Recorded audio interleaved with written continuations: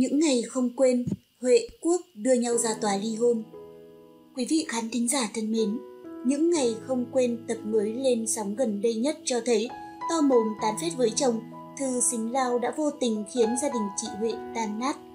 Ở tập này, chủ yếu xoay quanh drama trong gia đình Huệ Quốc, mất hẳn không khí vui tươi của những tập trước. Những ngày không quên tập này chủ yếu xoáy sâu vào chuyện gia đình Huệ. Sau vài ngày đi công tác cùng Vi, Quốc vừa đến sân bay đã bị chồng Vi bắt và đánh ghen ngay tại trận. Đáng nói hơn cả là đã có người quay cảnh đánh ghen này và đăng lên mạng, khiến Dương và Thư vô tình xem được. Tuy nhiên, chưa kịp xác định xem đó có phải anh rể mình hay không thì clip đó đã bị gỡ xuống. Hành động này khiến Thư có thể khẳng định chắc nịch rằng người bị đánh ghen chính là Quốc bởi anh ta vốn là dân IT. Xử lý mấy clip trên là màn dễ như trở bàn tay với anh ta. Vì muốn biết anh Quốc có đang nói dối hay không, Thư đã nghĩ ngay đến chồng mình, cho rằng giữa Vũ và Quốc chơi rất thân với nhau nên hai anh em sẽ có những chuyện gì đó giấu nhau. Nhưng Vũ thì không thể nào giấu được chuyện gì trước Thư cả. Nếu như giấu chuyện gì thì Vũ chỉ có chết với Thư mà thôi. Thế nên, sau một màn tra hỏi của Thư cuối cùng, Vũ cũng đã phải khai ra tất cả mọi chuyện về Quốc. Vũ nói với Thư là Quốc đã vay mình 300 triệu. Đang cào hứng bóc phốt anh rể, Thư nói luôn cho Vũ nghe vụ clip đánh ghen ngừa đâu Huệ đã đứng đằng sau và nghe hết mọi chuyện. Khán giả yêu phim đang cao hứng lại thót tim rồi rơi nước mắt với tình huống bi hài ở trong phim.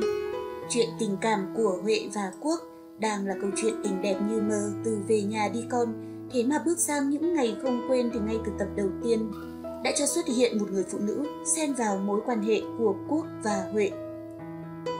Những ngày không quên đã khiến khán giả tức giận vì để nhân vật Quốc, người mang đến hy vọng cho Huệ, dính dáng đến một người phụ nữ khác. Trên fanpage của bộ phim, khán giả đã hò nhau bình luận nào là sao biên kịch lại để cho Quốc mèo mả gà đồng không ra gì như thế. Sao chị Huệ xinh đẹp hiền hậu giỏi giang cứ phải chịu hết khổ đau này đến đắng cay khác. Có khán giả còn nói là Bà con ơi, tập trung tìm người đàn ông trung tình tử tế cho chị Huệ thôi. Giải tán, giải tán ngay với kẻ lừa dối ngoại tình. Có khán giả yêu phim còn nói, chắc chắn các tập sau chị Huệ và Quốc sẽ ra tòa ly hôn. Sao lại để cho đôi vợ chồng đẹp như tranh đến nông nỗi này cơ chứ? Toan thật rồi bà con ơi.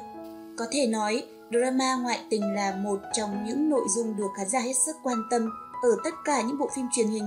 Bởi thế mà những bộ phim nói về chuyện tình cảm gia đình, đặc biệt là chuyện người thứ ba, bao giờ cũng cuốn hút khán giả. Tuy nhiên, khi xuất hiện người thứ ba, thì khán giả không ngừng chỉ trích không chỉ từ nhân vật mà đến cả biên kịch và đạo diễn là tại sao lại để cho cuộc đời của một người phụ nữ gặp nhiều bất hạnh khi để cho người thứ ba xuất hiện. Nhưng nếu như không có người thứ ba xen vào thì câu chuyện lại chẳng có gì đáng nói. Bởi thế mới thấy mong muốn là được xem những bộ phim để trừng trị những kẻ thứ ba nhưng kẻ thứ ba xuất hiện thì khán giả xem phim lại là những người cảm thấy ức chế hơn cả nhân vật ở trong phim những ngày không quên đang được phát sóng trên VTV1 được xem là phiên bản về nhà đi con thời Covid-19, thu hút sự quan tâm của nhiều khán giả.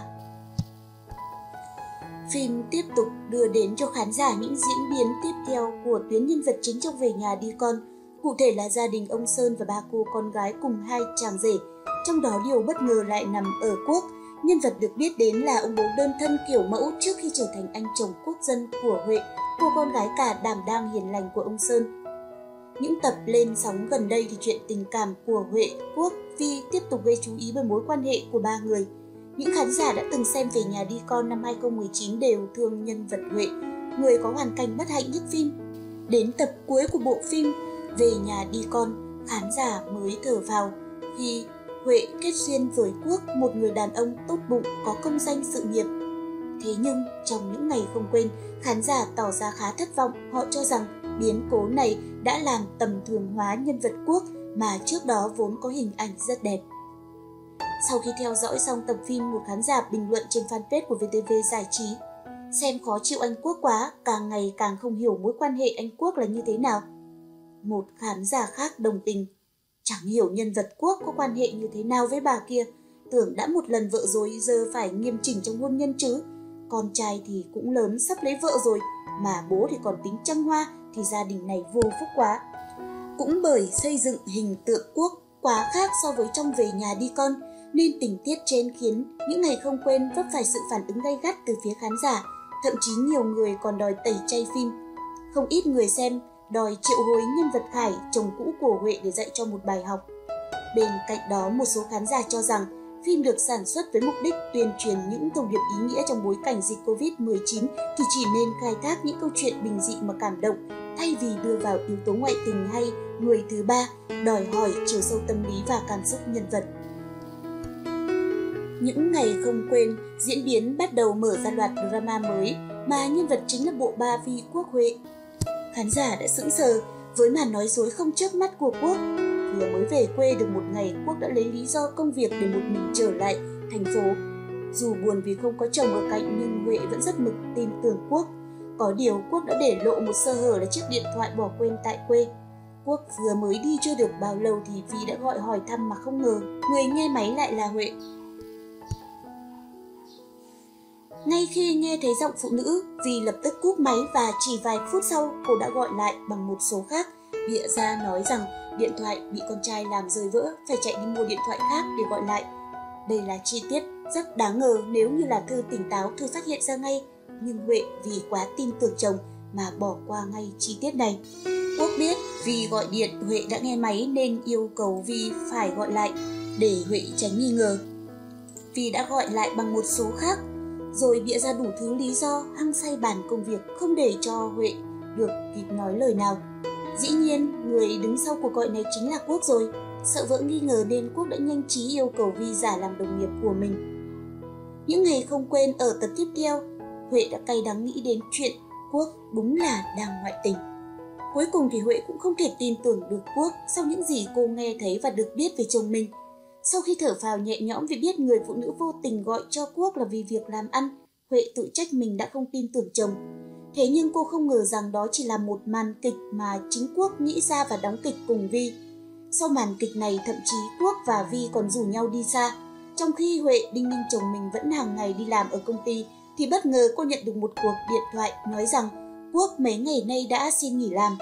Linh cảm có chuyện, Quốc dối gian với mình, Huệ nhắn tin rồi gọi điện hỏi Quốc khi hỏi Quốc về việc liệu chuyện anh nói dối có liên quan đến phụ nữ hay không, Quốc buộc phải thừa nhận với Huệ và hứa khi nào xong việc sẽ về để giải thích cho cô rõ. Không may đúng lúc Quốc nói chuyện điện thoại với vợ thì giọng của Vi nói chuyện với anh đã lọt vào máy. Huệ sững người khi nghe thấy tiếng đàn bà.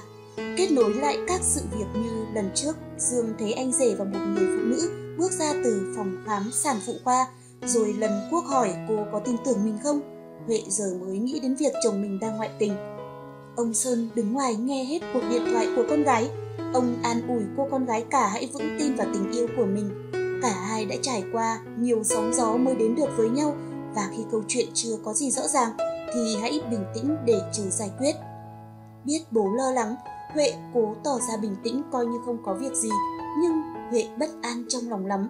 Cho tới khi thấy hai cô em cứ úp mở đầy nghi ngờ, nhưng Thư và Dương lại chưa biết phải nói với chị như thế nào thì Huệ đã nghe được hết mọi chuyện khi Thư thao thao bất tuyệt trà hỏi Vũ về Quốc. Chị Huệ quá đau khổ khi biết chuyện này. Việc khán giả là ó về Quốc là không thể tránh khỏi. Ai mà chấp nhận được con người như Quốc, nói dối trắng trợn, xóa dấu vết nhanh như chớp, lại còn có nhiều chiêu bài để qua mắt vợ một cách tỉnh bơ, cứ như là một người rất sành sỏi và dày dặn kinh nghiệm trong việc giải quyết và đối phó với những chuyện này. Thế nên nếu chị Huệ bỏ qua cho Quốc thì ngựa vẫn cứ quen đường cũ thôi. Anh Khải mũ cối khi xưa dù vũ phu nhưng lại dành chọn tình yêu cho chị Huệ chứ không như Quốc mồm quàng quát nói yêu, nói thương, một lòng trung thủy. Nhưng ai biết được với cái tính ga lăng như anh ta tự vỗ ngực khoe mẽ với Vi ấy thì Vi cũng chả là gì. Ai mà biết anh ta sẽ còn có bao nhiêu cô gái khác nữa. Chị Huệ lại là người dễ tổn thương bởi chị đã gặp quá nhiều cay đắng rồi. Không lẽ bắt chị phải chịu cay cực bất hạnh mãi như vậy hay sao? Nên cách tốt nhất là giải tán với Quốc, đưa nhau ra tòa là xong. Vậy nên một kịch bản đang được khán giả hùa vào xây dựng trong tập tiếp theo là Quốc không nhận được sự tha thứ của chị Huệ. Chị Huệ sẽ đâm đơn ra tòa để kết thúc mọi chuyện. Thế nhưng trước mắt, như Thư nói, Quốc vừa hạ cánh xuống sân bay chắc chắn là sẽ không được về nhà mà phải đi cách ly, nên thời gian để Huệ gặp Quốc làm cho rõ mọi chuyện sẽ còn lâu, không thể nói qua điện thoại là xong được. Thực hư câu chuyện của Quốc và người phụ nữ tên Vi kia là như thế nào? Và tất cả mọi chuyện sẽ ra sao? Huệ có quyết định ra tòa ly hôn với Quốc hay không? Mời quý vị và các bạn hãy cùng đón xem những tập tiếp theo của bộ phim Những Ngày Không Quên, được phát sóng lúc 21 giờ từ thứ hai đến thứ sáu hàng tuần trên kênh VTV1. Rất mong nhận được ý kiến đóng góp của quý vị và các bạn bằng cách để lại những comment bên dưới video này. Hãy like, đăng ký để ủng hộ kênh và đón xem những video tiếp theo của chúng tôi nhé.